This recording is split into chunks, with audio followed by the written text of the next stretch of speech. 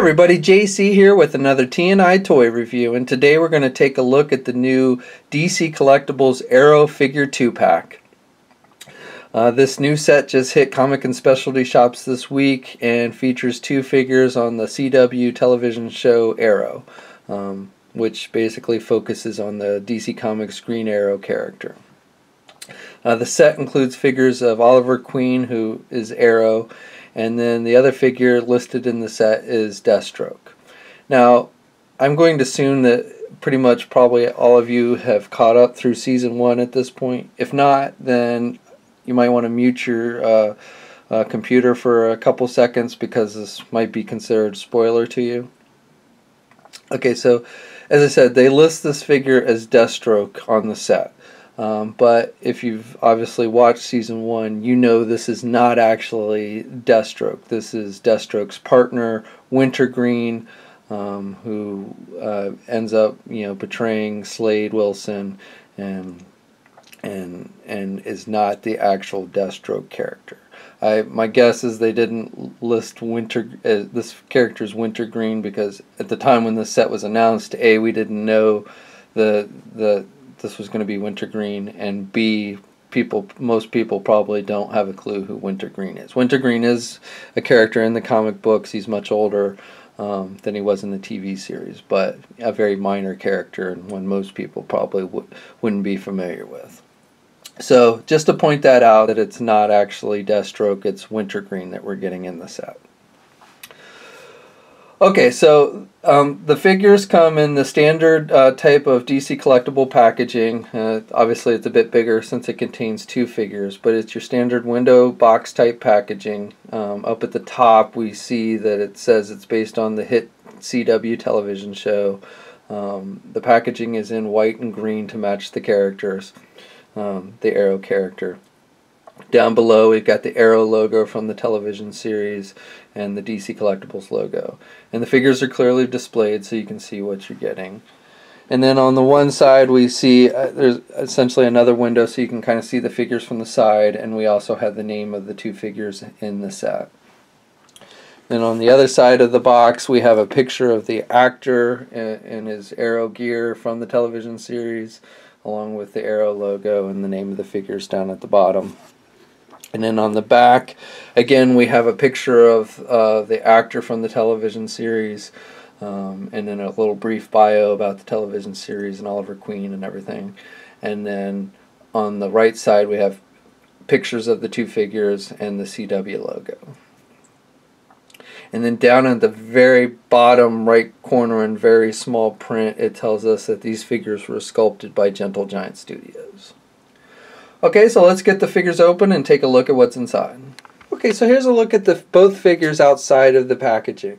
Now we'll take a look at each figure individually, but I just wanted to first give you a look at them together, standing together. Um, you'll see that both figures look pretty true to their appearance in the TV show. Um, and they both come with a number of accessories, which again we'll go into detail here in just a moment. Now, uh, while we have them standing here together, we'll just look at uh, the scale um, Deathstroke is a little bit shorter than the Arrow figure.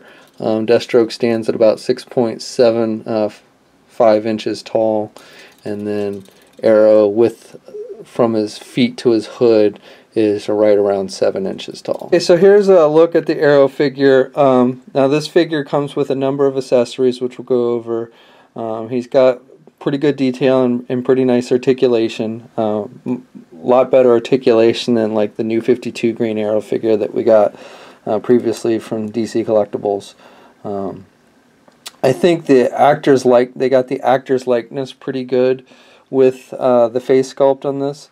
Now he's got this hood which um, is basically a, a soft material and you can actually pull it back off of the head. So uh, we've kind of seen that feature with other figures in the past. So the hood uh, it doesn't, you know, kind of like comes back up on his head. So you kind of have to kind of hold it down if you really want it off of his head. But you can pull it back so that you can see a full head sculpt with hair and everything. And again, I think they've done a pretty good job of capturing the actor's likeness from the TV show. Um, now, this version of Arrow is obviously earlier in like the first season where he was painting green on his eye around his eyes as opposed to wearing an actual mask. And I do think that maybe they went a little heavy on the beard and mustache. I know usually he's got like some five o'clock shadow and stuff, but with this figure, it almost looks like he's got a full on beard and mustache. But still, overall, I think they've done a pretty good job with, with the detail and everything.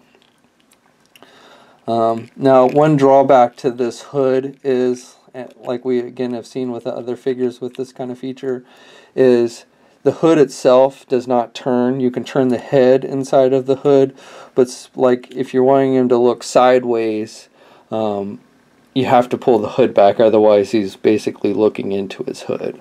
So that can be a little bit limited as far as like posing him in, in good positions. Because the again, the hood, you know, you can pull it back, but it doesn't stay back too well. You know, it kind of looks funny sitting um, on his head like that. So, but that's basically if you want him to look to the side is what you've got to do.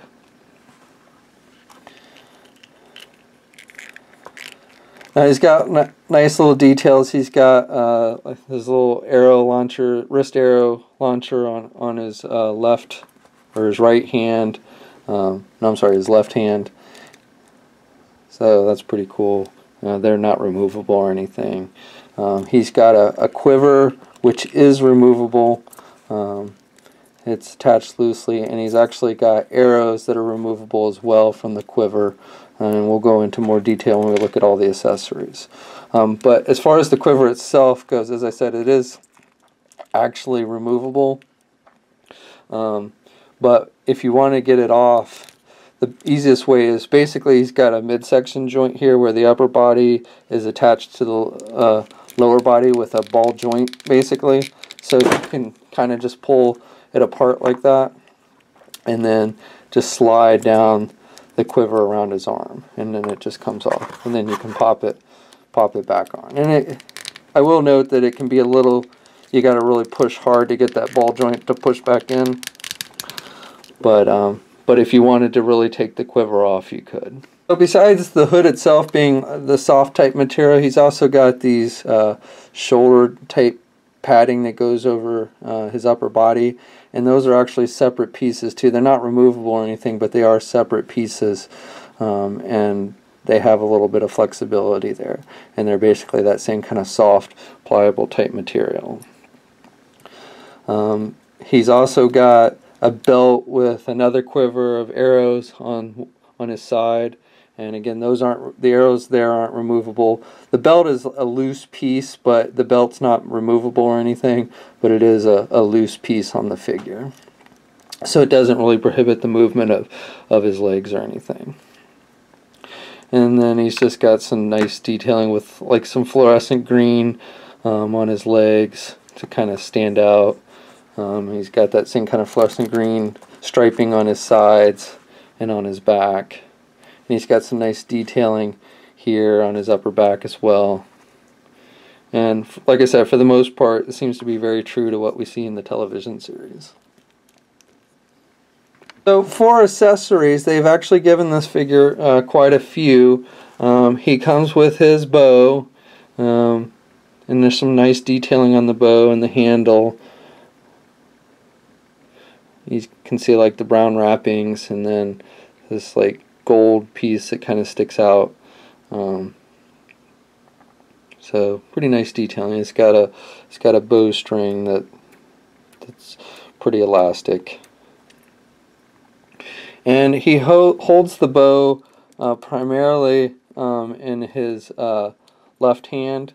And it can be a little tricky. Uh, the easiest way to get the bow in his hand that I found was to just take his hand out and then the fingers can kind of be pressed in a little bit so you, might need to like kind of pull the fig fingers out a little bit but then you can just kind of slide the handle in there and it'll end up gripping it pretty nicely and tightly. And then once you have the, it gripped then you just stick the hand back in. And again like I said he holds it pretty pretty nice and tight and as for his hands, he comes with two a pair of open hands. One to hold the one hand holds the bow, and then the other one um, is made to hold arrows basically, and they've actually kind of given him some space between his fingers, um, so you can stick the arrow in between his fingers, so he holds the arrow nice and tightly, which is nice. That's a that's a nice feature. And so again, it's just take the hand out, get the arrow in there, and then you can stick the hand back in. And then you can get him into like some bow holding and shooting positions. Um, and again, we'll go into that a little bit more when we look at the articulation. He comes with two single arrows, um, and they basically have green tips like you see in the TV series, and then they have uh, uh, the staff of the arrow is, is black, all black, and then he's got yellow and green feathers on the end of it. And he comes with two of those, and then he comes with a, a clumping of arrows, which are all kind of molded together, but basically so you can stick in his quiver, so it looks like he's got a bunch of arrows in his quiver. So, and you can get, you can you can kind of squeeze all of them in there if you really wanted to, um, but and they fit for the most part. But it's probably if you try and stick them all in there, one usually kind of sticks up higher than the others. So it's good to kind of like have one, have him hold one of the arrows, and then put the others in his quiver. But if you wanted to get them all in the quiver, you could. And then he also comes with another set of hands which are basically closed-fisted. So I guess if you want to get in a fist fight or something, you could switch out the hands um, and put the closed-fisted ones in. Okay, so the articulation on this figure, like we've seen with other recently released uh, DC Collectibles figures, is actually pretty good. Um, definitely more than your typical DC collectible. Um, and and so let's just go over it real quick. Um, the head is on a ball joint, so you can look left and right. Now again, the hood doesn't turn. Um, you, you can pull the hood back, but the hood itself does not turn with the head. Um, but he can look left and right. Um, but if you wanted to look left and right without looking in the hood, then you want to pull the hood back. Now, one thing I do want to note is this the hood and and this these shoulder pieces are all one piece essentially, and they are glued in. So you can you do risk you could actually basically pull this off if you wanted to. Um, it's not meant to be removable, but uh, if you wanted to pull it off, it's just glued on there. Um, and in fact, the the band or the the quiver, the straps on the quiver kind of keep it in place. So even if it comes unglued, you can kind of still keep it in place. So it's your call if you want to if if you want to remove the hood, you you technically could. Um, and then you could even probably keep the hood on there um, as long as you have the the quiver straps on there. But I but again, the hood's technically not made to be removed, though you can pull it back. But you do risk detaching that glue if you pull too hard. So I just want to caution you on that. But you may decide you just like it better with the hood taking the hood off um, in which case you can if you, if you want to, because again, this piece is just essentially glued on there. Um, he doesn't really have much up or down movement. He's got a little bit down, um, but not a whole lot. Uh, the arms are just your standard ball hinge joints, so he can get his arms out pretty good. Um, unfortunately, the elbows are only single jointed and in this case you know normally it's not a big deal but in this case I think double jointed elbows would have been nice to allow him to get more bend to get in better bow firing positions. Um, but he's only got the single there's swivel there um, so you've got the swivel. And he's also got good rotation in the shoulder and everything um, and then he's got he's got hinged wrists, swivel wrists, which is nice, and both sets of hands have the hinge on it, so that's good. Um, he's got a midsection twist here. As I said, it's just attached with a ball joint. So he's got some down movement and some back movement, and you can twist. Um, you, if you really want to get turned to the side like that, you kind of have to play with it, kind of raise it off a little bit off the ball joint, but you can get it to turn to the side like that. Um, no, no swivel at the waist. And he does have the ball hinge joints at the leg so he can do the splits good. Now one thing I want to note here is these joints tend to get a little loose and in fact at least on my figure you can see how the leg is come kind of separated from the from the rest of the body of the figure so you have this gap um, between the waist section and the leg it's not that big a deal to me and I like that you can do like the splits and everything but just something to be wary of um, and he can do his legs forward about that much and back about that much he's got um, again, single jointed knees. And then he's got um, he's got a, a boot swivel. And the knee is also you can also swivel at the knee. And then he's got the ankle pivots, the hinged ankle pivots, which is nice. Okay, so now here's a look at the other figure in the set. Um, now again, as I mentioned before, spoiler, if you haven't seen season one, mute it for a minute. But this really is not Deathstroke. This is Deathstroke's partner, Wintergreen. Um, you can see he's got both eyes. That's the biggest giveaway. Is he's got both? You know, the mask has both eyes, and so this guy is not actually Deathstroke, even though that's what they label him as on the packaging. Probably because if they called him Wintergreen, nobody would know who he was. But he's got pretty nice details. He's got nice accessories. He's got this strap uh, that holds a sword on the back, uh, which you can take off if you want. It's got the grenades, smoke grenades, or whatever they are, uh, sculpted on, along with some pouches and stuff, which is nice. And the grenades have some added color with the yellow, like we see in the TV series. Um, he's got the mask, which is split, you know, one side orange and one side black. And as I say, this particular character has both of his eyes. Um, he's got some nice sculpted armor on the upper body, um, and again, the sword is sheath is removable, um, and the sword itself is, of course, removable. And we'll go into more of that in a minute with with the accessories. He's got a, a working um, gun holster on his on his uh, right leg and then down here on his left ankle, he's got a working knife holster as well with a removable knife. And then he's got really nice, like on his boots, I like the detailing with like the dirt or mud on his black boots, which is just nice added uh, details. And he's got the pad padding and everything. So figure is basically black with some uh, yellowish orange mixed in on the mask and the grenades, but otherwise and then he's got like some metal like silver on the paddings on his ankles and stuff. But for the most part you know we're looking at at blacks on this figure. But it comes off looking really nice okay so for accessories. Like with the arrow figure this figure comes with quite a few. Uh, so we'll go over them real quick. As I mentioned before he's got the bandolier with the short uh, sword sheath um, with the removable uh, sword. Uh, the sword looks very true to what we see used in the television series. It's a, a, dark black handle and then a lighter black for the blade, and he's got some holes in the blade like you see in the television series, and it's sculpted to look really sharp and everything. So I think the blade looks really good. Um, now he holds it best in his uh, left hand. Um, if you stick it in that hand, he holds it pretty tightly. You can put it in his right hand, but it's much looser. So basically, you kind of have to just sit it in there loose if you if you want to hold it, have him hold it in the right hand. And he also comes with a pistol, which again is just all black. Uh, but there's some nice sculpting on the pistol and everything. And again, this fits in his holster that he has. So he's got the working holster, and it fits in nicely there.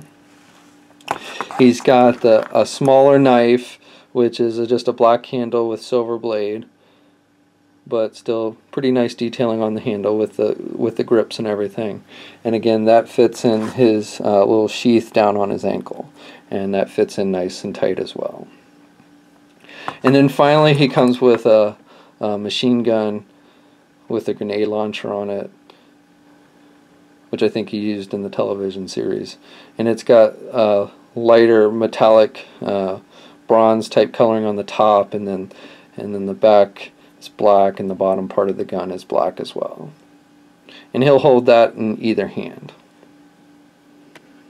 So this figure has actually a little bit more articulation than, than the Arrow figure even. Um, so we'll just go over those points real quick. Um, again, the head's just on a ball joint, so not a lot of back movement on the head. Uh, can look down a little bit, um, and then can look left and right with no problem. Shoulders, standard ball hinge joints, and he can stick his hand, his arms out completely with no problem. Um, he's got a, a tricep swivel, and then he's got the single hinged elbow. Um, but he can actually bend his elbow more than, than the arrow figure can, which is good. And then he's got um, hinged uh, swivel wrist. Now the hinge on this is up at the top, so he can do his wrists up and down as as as opposed to back and forth. And that's the same on both hands. And then he's got again a midsection joint. Um, like arrow where it's just with a ball joint so he's got he's got good rotation um, there but he doesn't have a lot, very much in the way of up and down movement at the midsection um, no no waist swivel uh, legs are on the ball joints so you can if you want you can have him do the splits pretty good um, and he can do the legs his leg forward about that much and then back and then he's got a um, thigh swivel as well. And then he's got double jointed knees. And then he's got the the hinged ankle pivot which is nice. And just to give you some comparisons, here's uh, the Deathstroke figure next to his uh, new 52 uh, Deathstroke version and the Batman Arkham Origins uh, version, also both released by DC Collectibles recently. Um, now this Deathstroke probably doesn't have quite as much articulation as the Batman Arkham Origins one, but definitely has a lot more articulation than the new 52 version. And then here's Arrow next to his new 52 counterpart, and this new Arrow figure definitely has more articulation than, than the new 52 version. So that's my review. Overall, I really like these figures, and if you're a fan of the television series, then I think you'll definitely want to pick these up. Um, now, as I've mentioned before, it's a little misleading on the labeling of the one figure, um, but I, I, you know, I, I, still think it's a cool figure.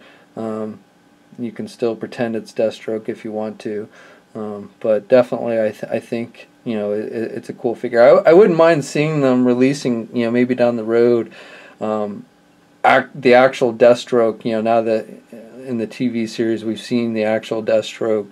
Um, I wouldn't mind seeing them release a version and maybe you know do Arrow with with the mask instead of the painted green on the face and stuff um, just to give them, them an updated look. Um, you know, I mean, people may would rather see other characters from the show made into figures before they see that, but I, I, I would I wouldn't be too upset if, if we saw that released down the road.